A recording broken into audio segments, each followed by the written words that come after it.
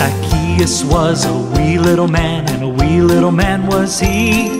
He climbed up in a sycamore tree for the Lord he wanted to see. And as the Savior passed that way, he looked up in the tree. And he said, Zacchaeus, you come down. I'm going to your house today. I'm going to your house today. Come on, Zacchaeus, no time to waste. Let's go, buddy. Yeah, I'm going to your house. Come on,